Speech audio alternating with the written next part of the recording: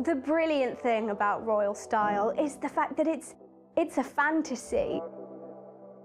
There's no sort of official royal fashion guidebook. They always want to look right for the occasion. They're designed to be on the front pages of newspapers, to be going viral on social media.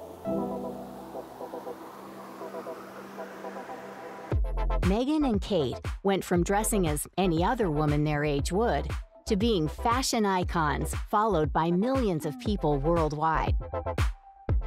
Catherine, Duchess of Cambridge, has become a natural style icon. Her understated and polished look is known worldwide. Although she may not be a follower of the latest trends, she has become a trendsetter.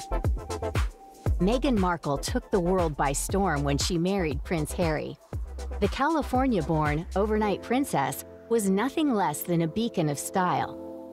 Whether she was making an appearance at royal events in London or visiting charities, the Duchess's style was always a manifestation of her classic, modern, and ever elegant persona. From actress to Duchess, Meghan's modern royal wardrobe was intricate.